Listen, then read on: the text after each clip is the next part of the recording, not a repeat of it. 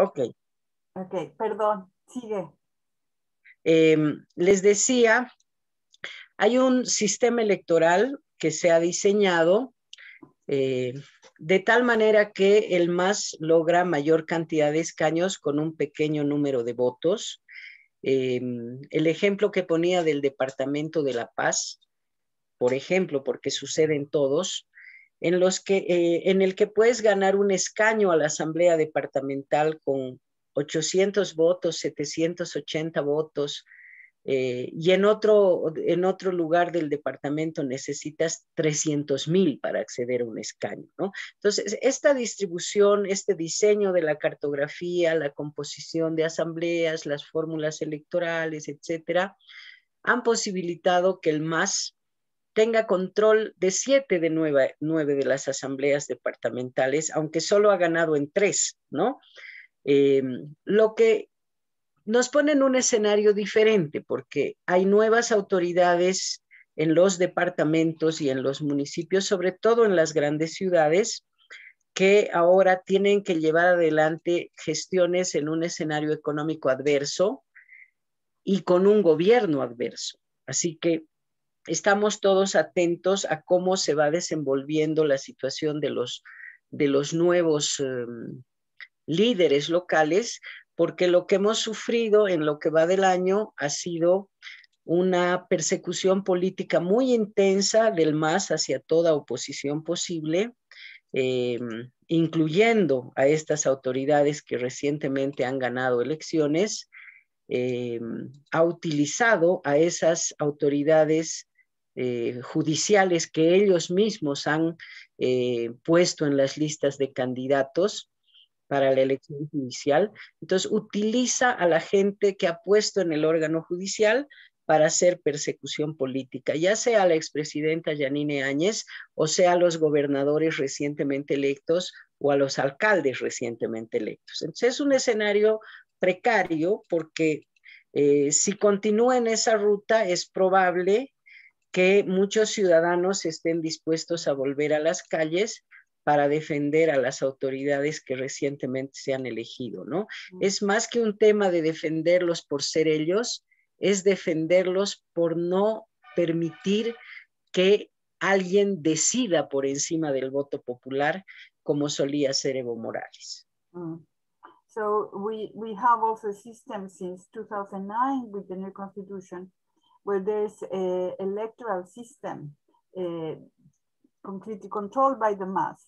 And this is a very strange system in which in some parts you need only 800 votes to get the seat in the assembly, whereas in other parts you need 300,000 votes to get the same seat.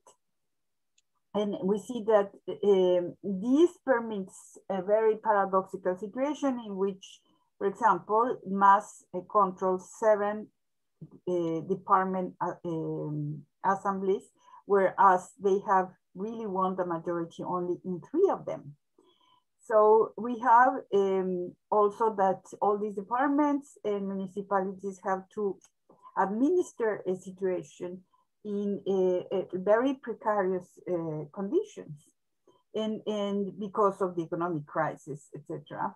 And there is also a, a harassment against opposition uh, which has been done through the control of the uh, judiciary system that was put uh, before, as, as, as our panelists mentioned, with the reform, the judicial reform.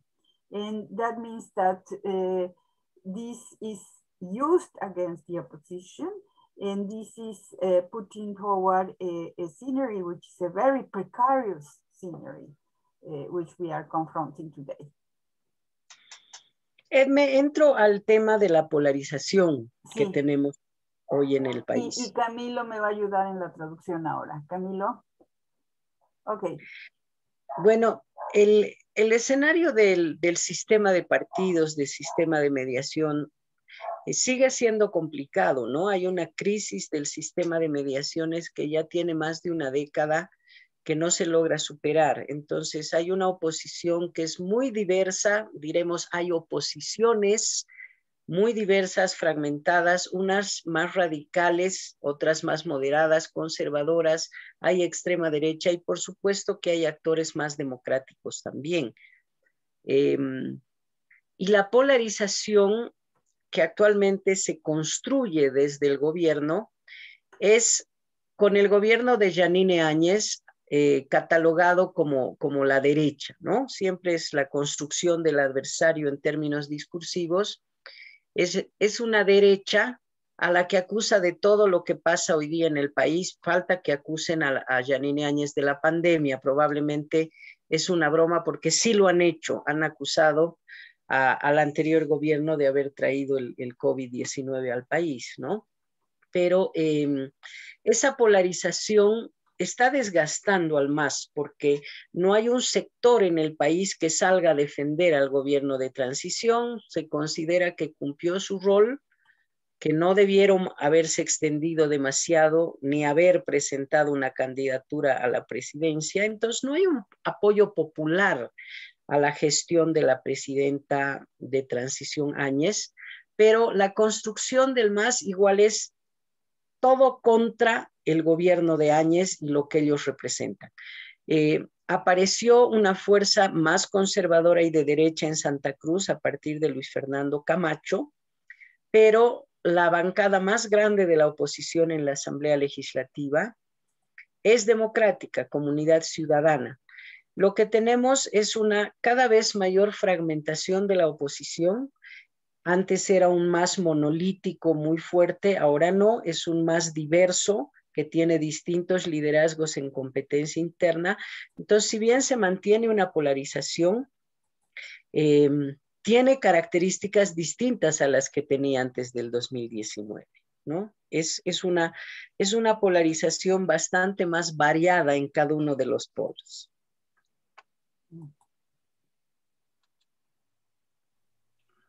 Okay, there, there is, uh, the question was about how is the polarization now in the, in the MAS party and in Bolivia.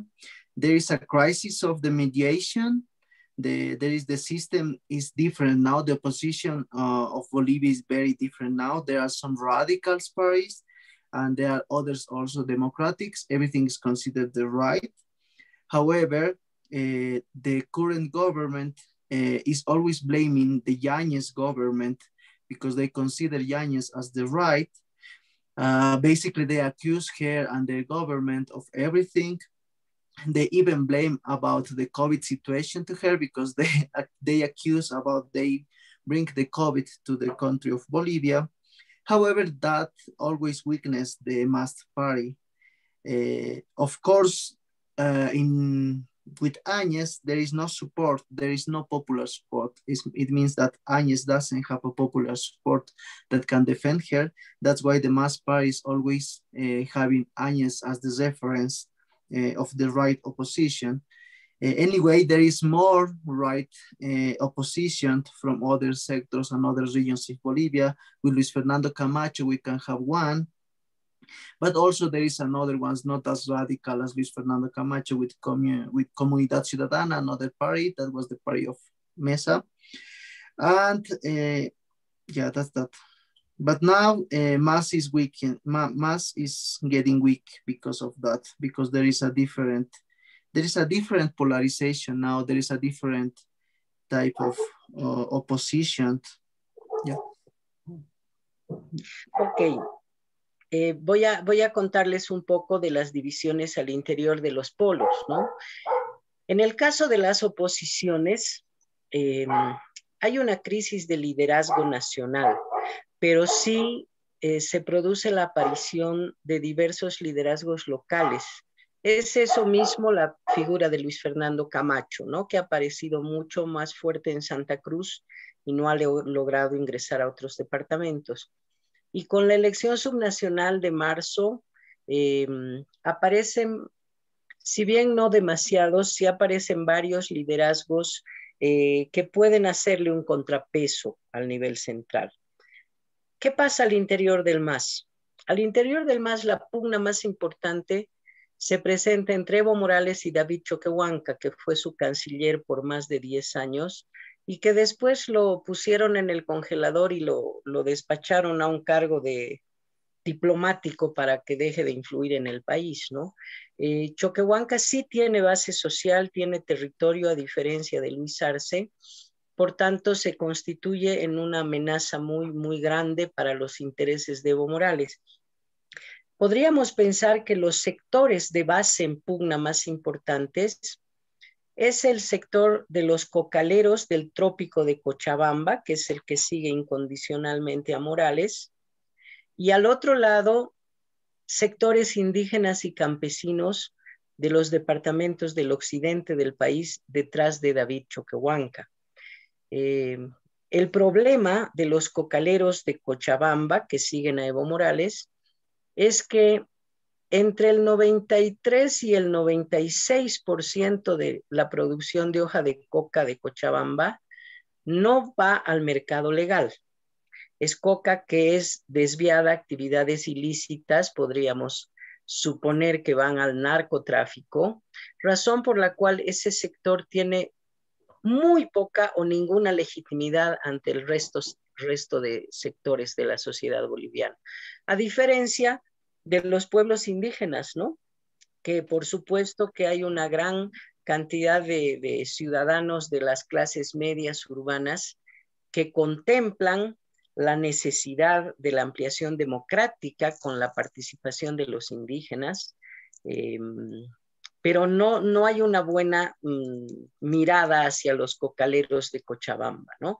El, tema de, la venta de su coca al mercado ilegal y los problemas que genera el narcotráfico en Bolivia eh, hacen que el perdedor en esta pugna hacia, hacia fuera del país sea Evo Morales, ¿no? Entonces, creo que si, si hubiera una competencia electoral entre Evo Morales y Choquehuanca, incluso la gente que no quiere al MAS acabaría apoyando a Choquehuanca para que no vuelva Evo Morales. Más allá del tema de indígena, no indígena, el tema de fondo detrás es el tema de autoritarismo versus democracia. Y Evo Morales eh, ha dado muchísimas muestras de su perfil autoritario, lo que eh, no ha hecho con tanta diversidad, digamos, eh, Choquehuanca, ¿no? Okay, about the division, uh, now we can say that there is a crisis of leadership in the national level of Bolivia. Uh, however, there is a regional leadership. Uh, there is a regional leadership in, within Bolivia with some regional actors. And we can say that this regional leadership can at some point give a fight to the national uh, level. Within the MAS, there is a division uh, with, uh, between Choquehuanca and Evo Morales. Choquehuanca is the current vice president. We can consider that Choquehuanca is kind of a threat to Evo Morales. Uh, of course, there is, we can divide in two sections. First, the Chapare from Cochabamba, that is the, the region that supports unconditionally Evo Morales. And also there is the indigenous communities that support Choquehuanca. Uh, also, there is a problem with the Chapare region in Bolivia because they have a tool market about uh, their production that it can be a weakness for Evo Morales. And on the other hand, there is the indigenous support of Choquehuanca that they are asking for more participation uh, and for more democracy. Uh, that's why there is not a good relation and they don't see with good eyes to the Chaparis region. And of course, that is against Evo Morales. Also, if there is a, if there is a contestant uh, between Evo Morales and Choquehuanca in a future election, uh, I consider that Choquehuanca can win because Evo Morales has characterized themselves as an authoritarianism uh, lately. And Choquehuanca uh, can be new. Yeah, but something else, uh, Camilo, that uh, the production in Chapare of Evo Morales is coca leaf. And uh, what the coca leaf, yeah. said is that 90% of this production is not legal. So go to the illegal markets and perhaps to drug cartels. Sí, hemos llegado a una situación muy complicada con este tema de la presencia del narcotráfico y la producción de coca ilegal en el país, lo que por supuesto debilita mucho a esa facción del MAS, ¿no? Eh, Evo Morales durante sus años de presidente se ha mantenido como secretario ejecutivo de la Federación de Cocaleros del Chapare de Cochabamba. Eh, nos ha hecho un daño en, imagen internacional también, de tal manera que en esta pugna interna, el que tiene mejores condiciones para retomar la conducción del proceso de cambio y de la construcción del Estado plurinacional será David Choquehuanca, ¿no? Si es que Evo Morales lo deja, porque no, no es que las cosas son sencillas, ¿no? La pelea interna es muy complicada. Okay, and yes, the, the presence of coca leaf in Bolivia always weakens the image of Bolivia and also of Evo Morales. And uh, we can say that the better conditions to rebuild the plurinational states can be from Choquehuanca instead of Evo Morales. Sí. Hay un tema adicional que creo Edme quería que lo conversemos y a mí me interesa también. ¿Qué es qué pasa con los movimientos de mujeres? ¿Son ese, apoyo, ¿Son apoyo o crítica al nuevo gobierno? What happens with the women's movements? Are they uh, support or uh, are they critical to this government? Si quieres yo lo tomo, Camila. Ok. Este es un, tema de fondo que debe, debe profundizarse porque se habla mucho en Bolivia de la inclusión de los indígenas, de los derechos de los indígenas, eh, que ha sido uno de los sectores em, excluidos por voluntad en la construcción del, del Estado, pero también agredidos y excluidos por las políticas de Estado y las diferentes élites que han rotado en el poder. Pero haya habido un avance significativo en los últimos años con la inclusión, en muchos casos simbólica, pero lo simbólico también cuenta. Ha habido un cambio respecto a la inclusión en la vida pública, en la vida política de los indígenas. Con las mujeres no sucede lo mismo. Hay varias reformas que se han aplicado en el país, valiosas reformas, pero en la realidad, más allá de lo que está en el papel, la situación de las mujeres sigue siendo tremendamente compleja.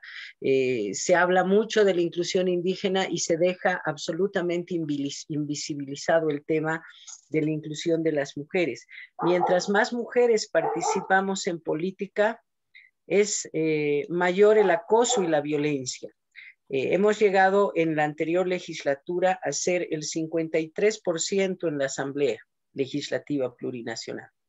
53% de mujeres, pero además mujeres tomando decisiones, presidiendo las cámaras o dirigiendo las bancadas de los partidos. Es decir, la irrupción de las mujeres vino con mucha fuerza. Sin embargo, a pesar de esas normas que se han aprobado, que en muchos casos han sido también simbólicas, eh, el acoso y la violencia política contra las mujeres es otra cosa que ha crecido de manera escandalosa, ¿no? Mm. Hemos, eh, hemos sido testigos durante todos estos años de acciones incluso misógenas por parte del ex primer mandatario, de agresiones sistemáticas a mujeres políticas. Eh, se, ha visto al menos dos casos de femicidio de mujeres políticas que entraban en pugna con algún hombre en, en función pública. Y la situación se ha puesto muy compleja. Hace unos años la coordinadora de la mujer hizo una encuesta sobre este tema de acoso y violencia a mujeres en la Asamblea Legislativa. Y resulta que casi siete de cada diez mujeres sufrían algún tipo de acoso y violencia, ¿no? Entonces, por eso decía, este para mí es un tema central, porque se habla mucho de algunas de las exclusiones, pero no de todas. Y en el caso de las mujeres, no basta la presencia, cuando una mujer llega a un cargo público y quiere tomar decisiones y quiere usar su boca y su cerebro, ahí el sistema patriarcal unifica a todos para ponernos frenos, ¿no? Esta es una tarea pendiente, aunque se ha avanzado muchísimo, siguen habiendo una cantidad impresionante de tareas que debemos debemos cumplir.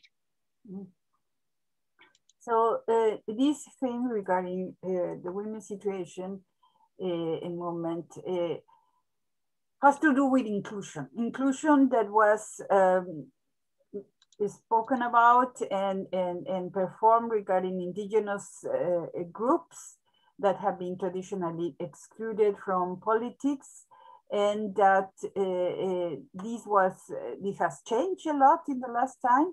And um, this has permitted this inclusion mostly of these indigenous groups but not really of women. The situation has advanced but uh, there are still a lot of problems and the main one is uh, harassment and political violence even though women represent uh, in the latest parliamentary elections 53% of the uh, uh, of the legislative assembly, the parliament, but this violence and this harassment, harassment just continues. And it was uh, represented in the last governments by uh, a lot of misogynist attitudes from Evo and from other politicians. Uh, and uh, we see a report from the Coordinadora de las Mujeres, the coordinator of women uh, committee, that reported that seven from every 10 women had suffered or were suffering some kind of political violence, political harassment from this patriarchal system, which is still something that we must solve.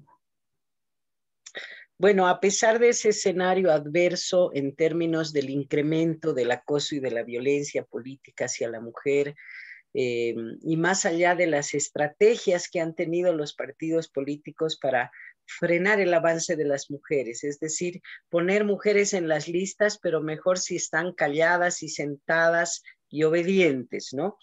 Eh, obviamente no les ha funcionado muy bien porque pues las mujeres vamos eh, avanzando y tomando los espacios, no, no pidiendo permiso. Y esto, esto ha significado cambios importantes en, en cómo se hace la política. En la anterior legislatura, a pesar del acoso y la violencia, en un estudio que, hice yo de 18 meses de la participación de los parlamentarios en las sesiones, resulta que eran 16 parlamentarios los que más incidían a la hora de tomar decisiones. Y de esos 16 parlamentarios en la Cámara de Diputados, 12 éramos mujeres. ¿No? Entonces, este es un dato que me gusta resaltar porque a pesar de la adversidad, de la resistencia del sistema patriarcal, eh, cuando las mujeres llegan y deciden utilizar su liderazgo, se pueden ver cambios significativos. Uno de ellos ha sido la ley de organizaciones políticas, una ley que por otros temas ha sido muy cuestionada en términos de los derechos de las mujeres políticas, es un avance cualitativo, es un avance fundamental. Lamentablemente en otros campos se han planteado trabas. Voy a poner un solo ejemplo. La constitución vigente señala que en todas las listas de candidatos debe haber paridad de hombres y mujeres, 50% de mujeres. Sin embargo, a la hora de preparar los binomios para las candidaturas presidenciales, se ha resistido el MAS a aplicar la paridad. ¿Por qué?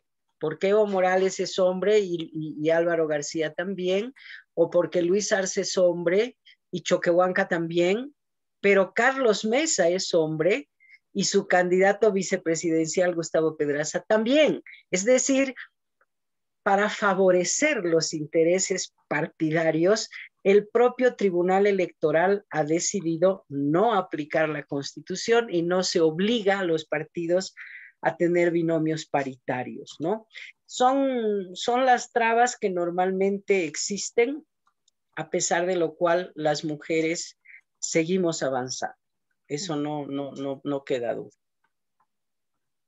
So, um, in spite of everything, women have continued to advance, but there are several difficulties and several traps that the parties have uh, uh, used to stop these advances.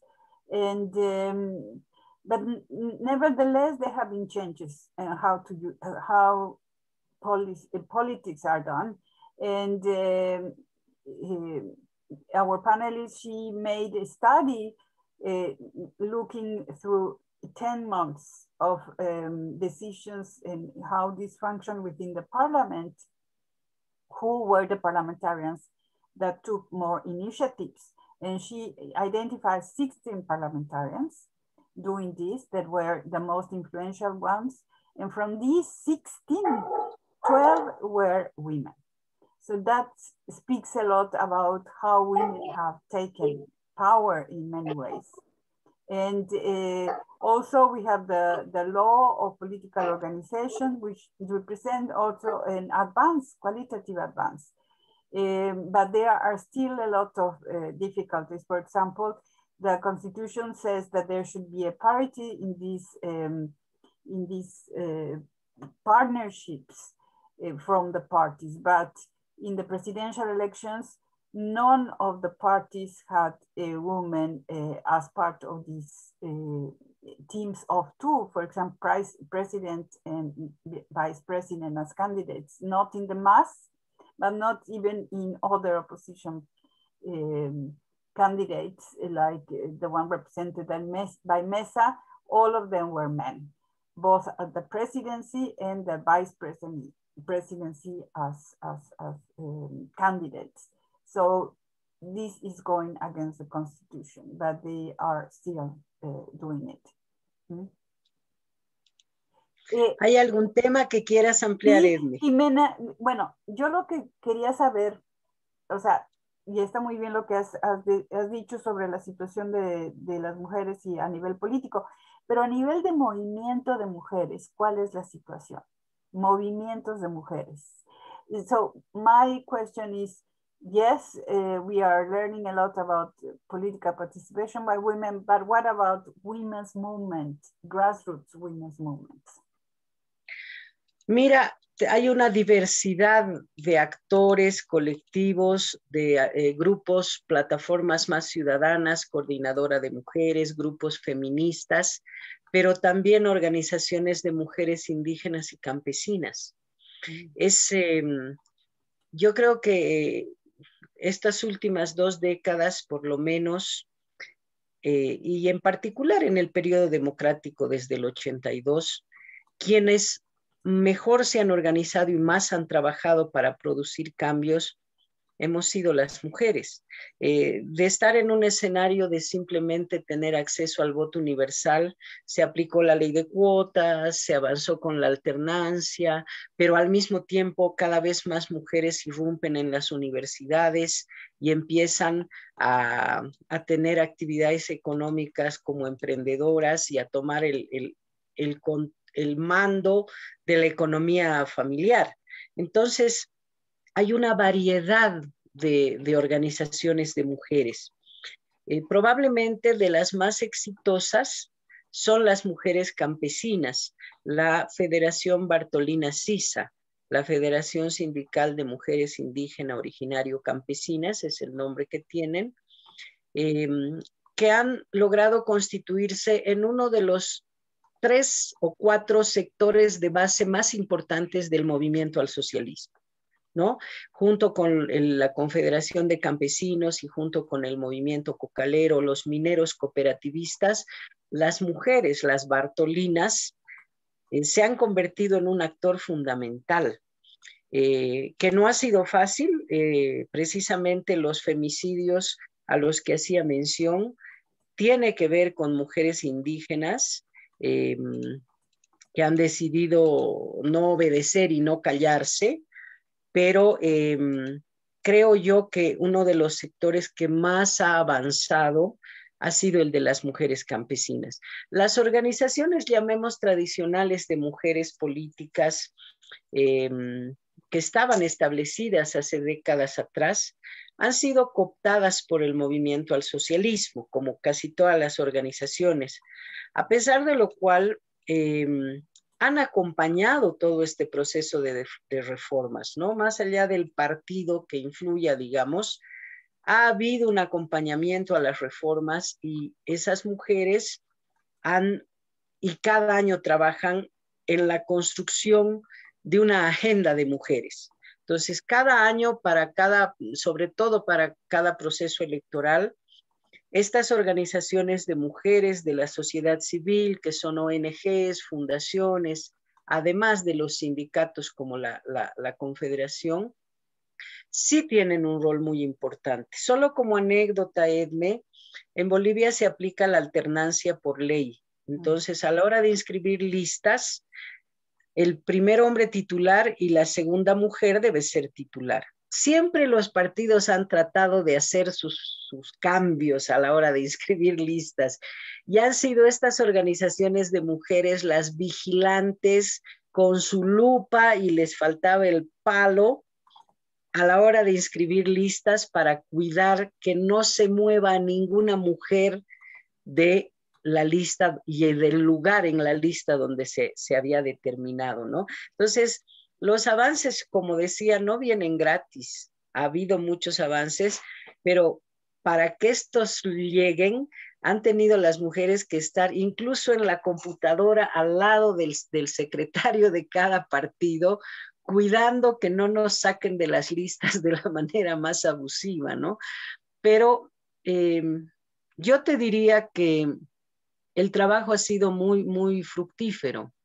Insisto, falta muchísimo, las, eh, las reformas producen mayor violencia, pero eh, sería realmente un absurdo no reconocer la cantidad de reformas y de avances que hemos tenido las mujeres en Bolivia. Eh, ahora, en, el ámbito de la sociedad civil, la violencia es una práctica cotidiana y generalizada. La cantidad de femicidios si no me falla la memoria, en el primer trimestre del año ya se hablaba de una decena de femicidios, de un par de infanticidios también. La situación económica y la pandemia eh, también han incrementado la violencia. La cuarentena rígida puso en evidencia que las mujeres, muchas mujeres, están más seguras en la calle que en sus casas, ¿no? Por la violencia doméstica. Em, todavía es una situación muy, muy compleja. Pero yo soy optimista pensando en que mientras las mujeres vean cada vez más mujeres decidiendo en la Asamblea Legislativa, en las asambleas departamentales o en los consejos municipales, también van a empezar a fortalecerse en, en su rol en lo público, ¿no? Ojalá que el Ejecutivo acompañara estas reformas en la composición de su gabinete. No, no lo hacía Evo Morales, no lo hace Luis Arce, pero tampoco lo hizo Janine Áñez, ¿no? Eh, ojalá que sea gradual y por supuesto vamos a seguir eh, insistiendo en que la paridad se aplique en todas partes, no solo en los cargos electivos, sino también en los sindicatos y en la Confederación de Empresarios Privados, en todos los niveles. Muchas gracias, Jimena.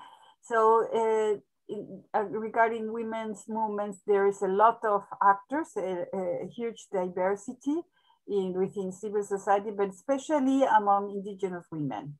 And uh, they have been uh, organized a long, since a long time back. For example, the, the famous organization of Las Bartolinas, Bartolina CISA organization, which is one of the main sectors within the mass together with the peasants, uh, and together with miners, etc., they are a very strong um, sector of the base of mass.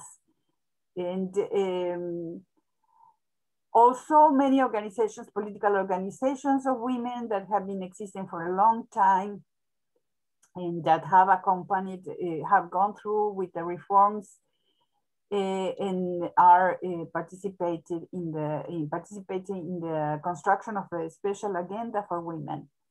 And these uh, these organizations have been extremely active monitoring the list of candidates. So that the parity should be is respected so it's thanks to all these uh, women's organizations that are extremely alert to see that really in all lists, uh, there is a parity and women are not forgot, forgotten. But of course, all these advances go together with a lot of violence. And uh, Jimena was speaking about domestic violence increasing, especially during the pandemic and during the quarantine that was put, the, the, the rigorous quarantine, which thought which uh, showed that women are safer in the streets than at home.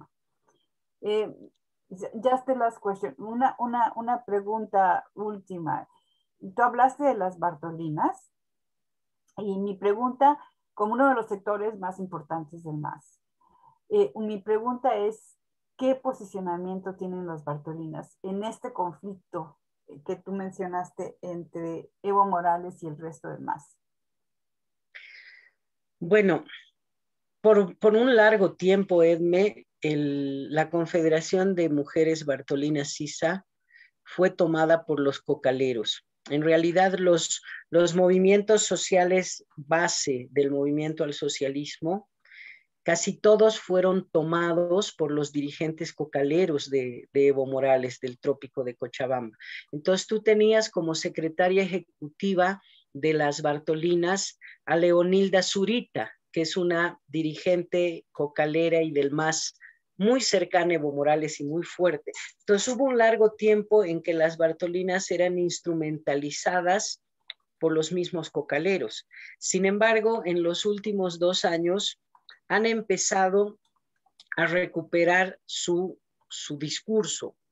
Eh, te pongo solo un ejemplo. Cuando estábamos en la crisis política de, de noviembre del 2019, eh, hubo una instrucción de la jefa de bancada del MAS vinculada al, eh, a la cúpula de Evo Morales. Y las Bartolinas, que eran diputadas, decían, no les vamos a hacer caso, nosotros la desconocemos porque nos tratan como a sus pongos. Pongo es una figura eh, de la época colonial y parte de la República eh, de servidumbre obligada de los indígenas en las casas de los patrones, ¿no? Entonces estas mujeres decían, nos tratan como a sus pongos, no les vamos a hacer caso, o sea, los dirigentes de Evo Morales, ¿no? Y veo que desde ese momento las Bartolinas han empezado a recuperar la voz y la organización. Eh, no creo que haya una ruptura con Evo Morales, pero sí creo que hay mayor proximidad con el, con el reencauzamiento del proceso de cambio que pretende hacer David Choquehuanca. Mm. So my, my question was, uh, what does the positioning of Las Bartolinas, which was uh, such a an important sector within MAS. And um, uh, Jimena answers that yes, during many years they were co-opted by uh, the people from Evo Morales, the Cocaleros, but in the last two years they have started to regain their autonomy. Uh, and in 1990, uh, during this crisis, when Evo Morales was uh, left and there were still several Bartolinas represented in the parliament. They were even questioning the consigns, the orders given to them by uh, Evo Morales to other forces of the mass. And they were, uh, the Bartolinas were questioning this and, and, and, and saying uh, they are just taking us as their servants and we are not going to obey. So uh, she says that the, the, there is a questioning and that uh, there are signs that they are recovering this, recovering this autonomy. They have not broken with Evo Morales, of course, but there are signs that they are, closer to the process of reconfiguration of mass and, and perhaps closer to Choquehuanca than to Evo Morales. Exactly. Okay, now we have only 20 minutes left and I would like to go to the questions. Uh, sí. I have several questions here um, and um, we have one from uh, Andres, Andres Borman.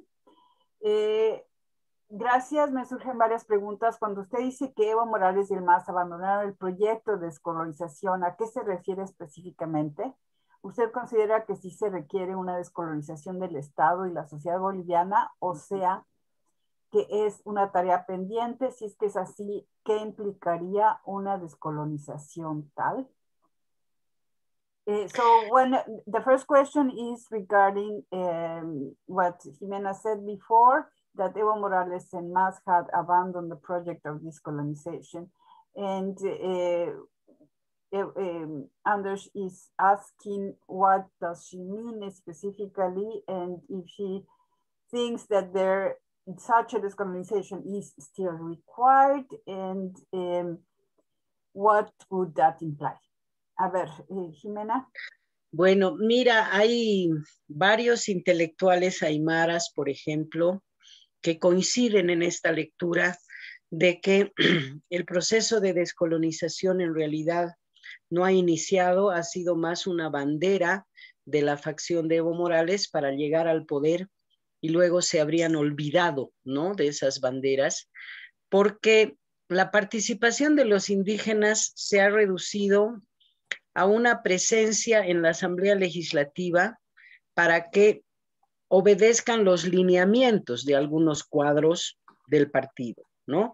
Eh, el reclamo que hacían estas parlamentarias era, por ejemplo, vienen a mi comisión y me dicen que apruebe la ley tal cual está, que ni siquiera la lea, que yo tengo la obligación de aprobar la ley como me la han mandado. Entonces ellas mismas decían, nosotros no hemos venido para ser pongos, ¿no? Em, lo que ha sucedido en realidad es que todos esos postulados que son de inclusión han sido utilizados de una manera prebendal.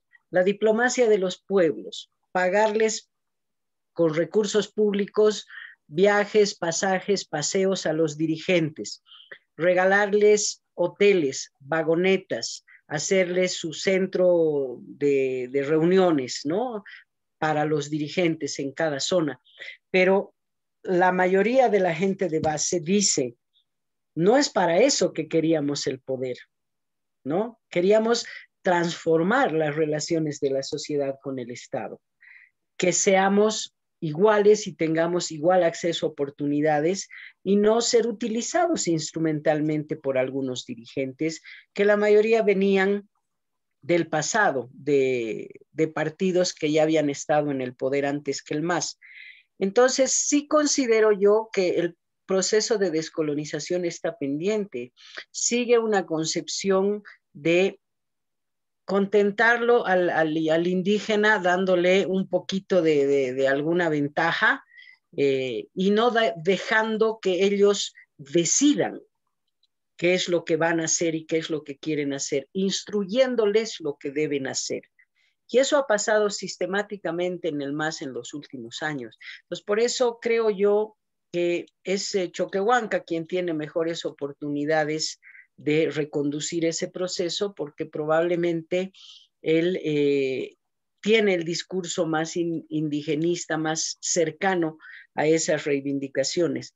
Eh, queda claro que durante los años de, de, sobre todo el segundo y el tercer mandato del MAS, se ha hecho un uso instrumental de los indígenas discursiva y simbólicamente para hacernos creer que era un gobierno popular, cuando en realidad eh, ha sido un, gobierno de, de, tinte autoritario que ha utilizado a la población indígena. No han llegado a asumir cargos de decisión ni en el Ejecutivo ni en el Legislativo, ¿no? El grupo, como se solía decir, de levantamanos que querían ordenarles cómo votar, qué hacer y qué decir. Y eso es lo que ha generado tanto desgaste interno hasta que Evo Morales acabó renunciando, no solo por presión de los movimientos ciudadanos, sino de la propia base del MAS que estaba cansada de ese abuso de poder. So the, the, the answer is uh, Yes, they have forgot, the, the mass government under Morales forgot about these banners and they use this uh, so-called uh, decolonization program as um, corruption. That means that some kind of corruption in which they were given, some people were given some privileges, uh, but that was not, not the idea of decolonization from the beginning, uh, not because it, the, the, the, idea was to transform uh, the relations between people and the government. And um, yes, she thinks that this decolonization is still uh, has to has to happen, and uh, that um, it, this should be given to the indigenous, not just telling them what to do, and that Choquehuanque has uh, most of the possibilities of uh, realizing this, of uh, uh, putting this into practice. Um, también hay otra, um, no ha hablado mucho sobre el racismo. No es un problema que hay que tomar en cuenta para entender la coyuntura política actual. So you have not spoken so much about racism and uh, we think this is a problem that uh, one has to take into account to understand the situation today. Bueno, al hablar de descolonización, estoy hablando, estoy diciendo de manera indirecta que el problema del racismo sigue presente, ¿no?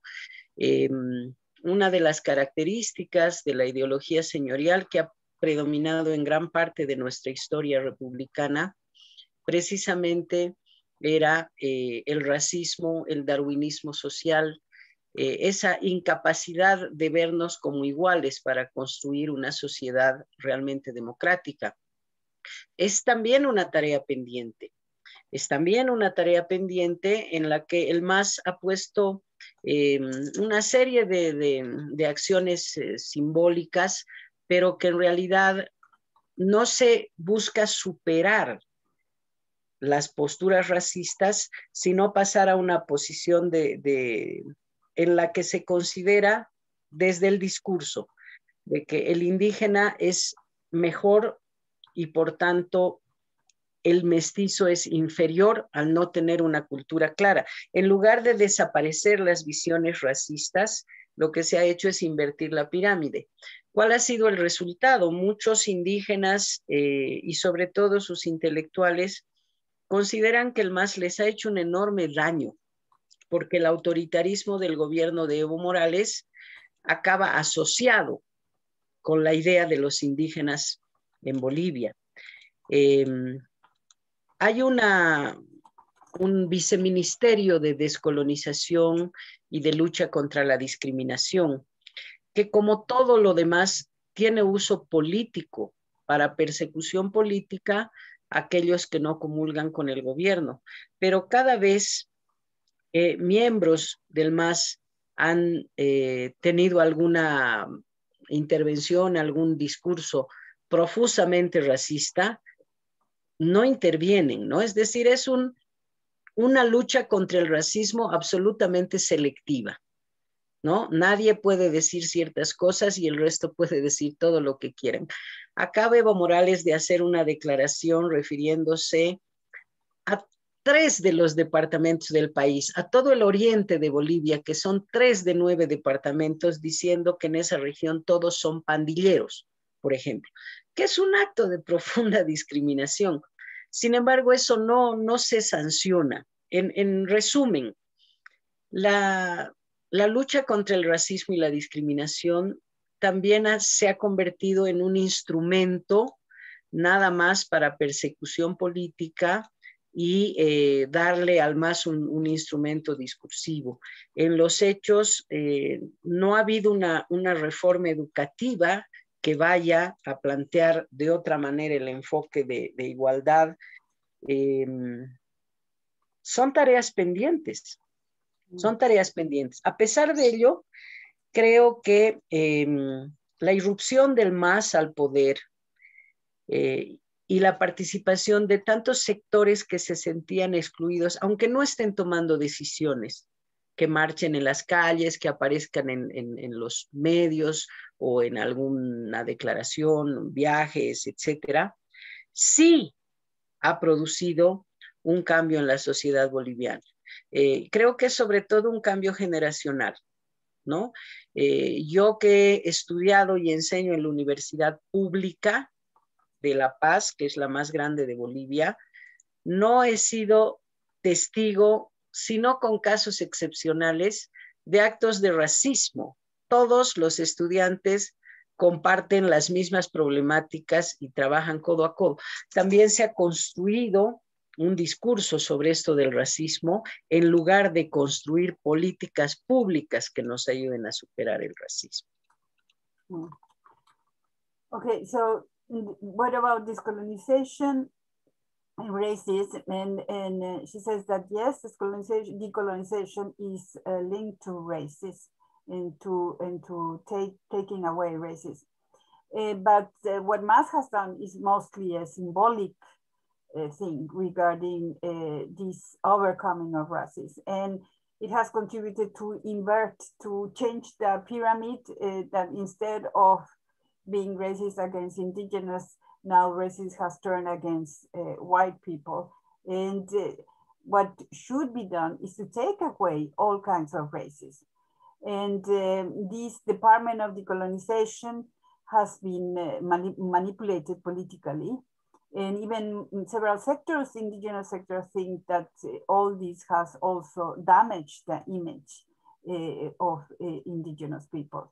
So this has become a discursive instrument and what should be done is political, edu educational reforms and other kinds of public policies that contribute to change uh, uh, the, the, the racist situation, the structures of uh, races.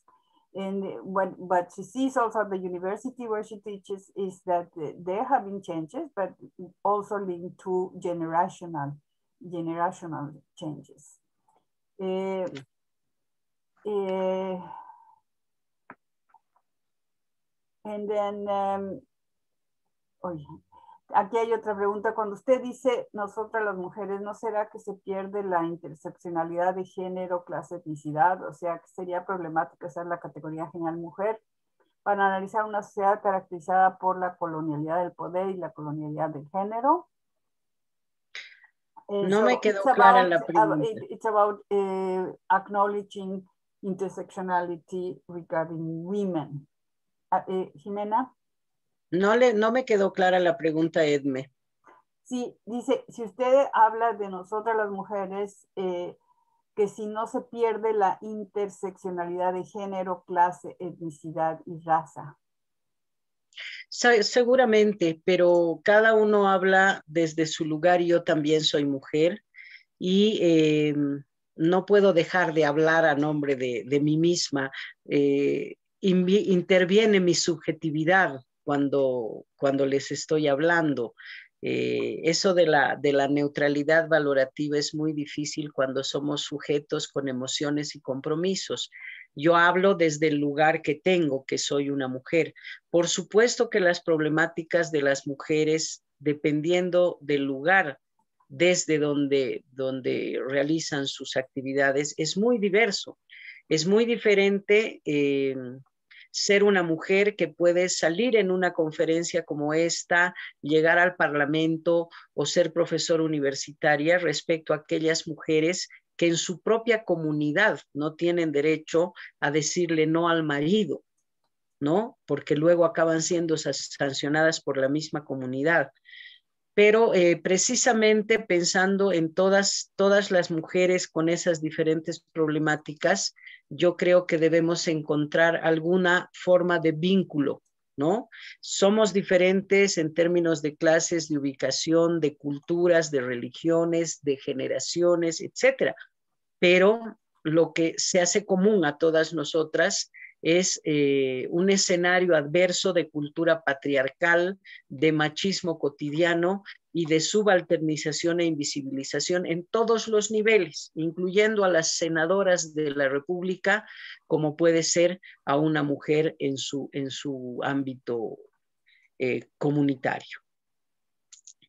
So yes, my position is, is subjective and uh, and of course there are a lot of difference regarding different sort of women like me or uh, that has uh, a profession that's at a university or represented in the parliament or indigenous women in communities that are uh, fearful speaking because of the husband.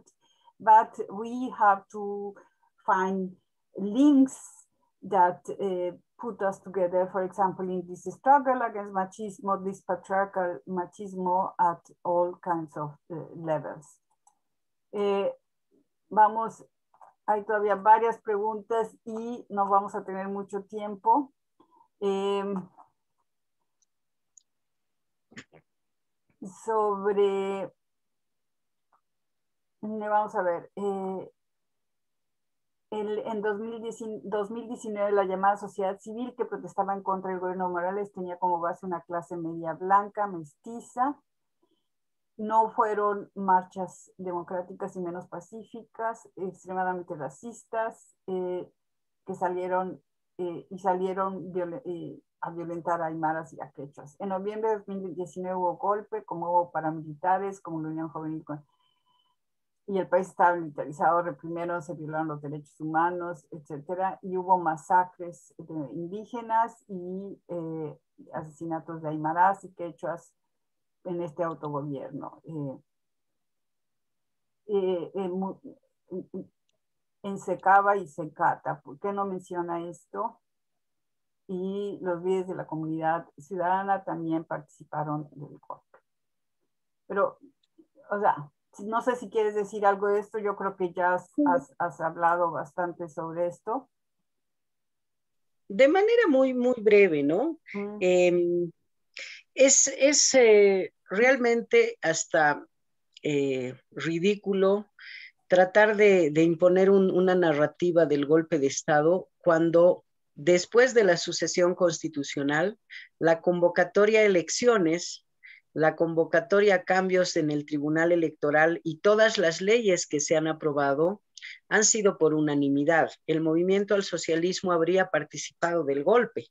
Tal vez suponen que ha sido una organización desde el propio MAS para librarse de Evo Morales. Es muy, muy confuso, ¿no? Pero en los hechos, el que haya habido una sucesión constitucional por unanimidad en la Asamblea Legislativa que ésta nunca haya dejado de funcionar y que se hayan llevado adelante las elecciones donde ganó el propio MAS, creo que son suficientes pruebas, sin tomar en cuenta los informes internacionales, de que esto es una narrativa para lavarle la cara a, a Evo Morales, ¿no? Pero en la realidad, la sucesión constitucional ha sido tremendamente compleja, probablemente un retroceso, y no es verdad que todos los movimientos ciudadanos hayan sido agresivos. Evidentemente han habido grupos radicales de ambos lados y también acciones pacíficas de ambos lados, incluyendo a los parlamentarios del MAS que optaron por sesionar y aprobar leyes en lugar de renunciar como hicieron los mandos vinculados a Evo Morales. So, of course, we have to face this narrative and um, that has been uh, circulating. And but the, the the main fact that there has been a, a constitutional succession, that the parliament continued working after Morales left power, and that there has been the possibility to carry out these elections, uh, it demonstrates that um, the situation is not what it has been painted. And, uh, and also that uh, is not true that all uh, citizen movements were aggressive. That some of them were aggressive, but from both sides were aggressive. This from uh, the movement supporting Evo Morales and from the movements uh, attacking Evo Morales. So this is this is something which which has been uh, um, put together, and as it said before, the main fact that we are having the mass again is demonstrates that this was not a, a, a. Ok, but we are, ya estamos al final de la, de la charla, ya son siete y media y yo les eh, agradezco mucho que hayan estado aquí y sobre todo a Jimena que haya participado. So I'm very happy to have had uh, Jimena as a guest lecturer. Yes. Edme, si, tal vez hay una pregunta que a mí me gustaría igual escucharla, que hay en el chat. No sé si podríamos en cinco minutitos, porque me parece muy interesante. No sé si la puedo leer. Eh, Jimena, no sé si por favor. Hay una aquí que me ha gustado y me gustaría saber la opinión. Era la de si la descolonización es una tarea pendiente partidos o alianzas electorales de la oposición como la Unidad Democrática son actores políticos que podrían llevar una agenda tal, o sea, una agenda descolonizadora. Oscar Ortiz, Samuel Doria Medina y Rubén Costas podrían ser agentes descolonizadores. Me gustaría ver cuál es la opinión de Jimena. Mira, Milo, gracias. Traduce, traduce la, la, pregunta. Ah, ok, ok, sorry. Uh, yeah, the next question is about if colonization is a pending task, the the opposition and electoral alliance like UDE and other uh, political actors could could could lead a descolonization uh, agenda. Uh, Oscar Ortiz, Samuel Dora Medina, or Ruben Costas can be descolo descolonizer agents. Perdón por la palabra descolonización. Bueno, realmente muy buena la pregunta, Milo, qué bueno que la has incorporado. La respuesta clara es que ninguno de los que has mencionado podría llevar adelante esa agenda porque me pregunto yo si la han reflexionado. Me pregunto yo si muchos de estos actores eh, en realidad se han percatado de que el MAS dejó esa agenda pendiente. Probablemente si hubieran habido, eh, si tuvieran un, grado de compromiso con esta temática, con, la problemática que está detrás de esto, eh, hubieran aprovechado muy bien el desgaste de Evo Morales, pero no lo han hecho. Menos mencionar eh, a un Oscar Ortiz o a, los varios nombres que has mencionado. Y creo que esa es la razón por la cual el MAS sigue ganando, a pesar de sus errores, a pesar de que traicionó a su propia base, a pesar de que incumplió la constitución que ellos mismos impulsaron para atornillarse en el poder, siguen ganando elecciones porque esa oposición fragmentada y diversa no ha sido capaz de recuperar, de instalar, de apropiarse de esa agenda de las bases del MAS. Esa es una realidad. Yo no voy a defender a una oposición que no ha podido leer adecuadamente esta realidad, pero el que la oposición sea mala no justifica las tendencias autoritarias y también coloniales que ha tenido el movimiento al socialismo. Ok. Eh, yeah, the answer is that they cannot uh, be actors of this colonization because they didn't reflect of what the colonization is. They are not compromised with this goal, so there is no way they can really assume this agenda. Uh, if they were compromised, if they would reflect about this, maybe they will use this weakness against Evo Morales and that's the reason why the mass is still winning despite all the betrays they did themselves and also uh, all the problems they have within themselves. Uh, they can't be uh, in this agenda because they didn't reflect, I said, and I cannot defend an opposition that uh, is not uh, aware of this situation. However, uh, it doesn't matter if the opposition is bad it's not a reason to be authority to be like the mass uh, being author uh, having authoritarianism. Tu micrófono, Herme.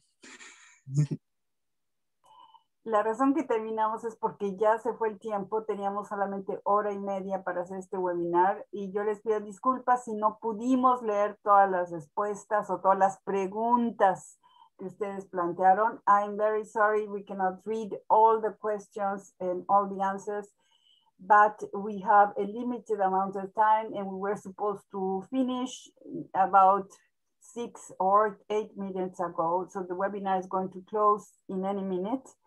And uh, as I said before, this is for a long discussion and I, I, I um, asked uh, to ask you to excuse me if we have to, to cut right now, but as I said before, this is, this is because of the limits of time. Muchas gracias, Jimena, y estamos en contacto. Thank you very much, Jimena. And eh, Camilo, muchas gracias también por habernos ayudado y eh, seguimos en contacto. Muchas gracias. Hasta luego. A ustedes, hasta luego. Mm.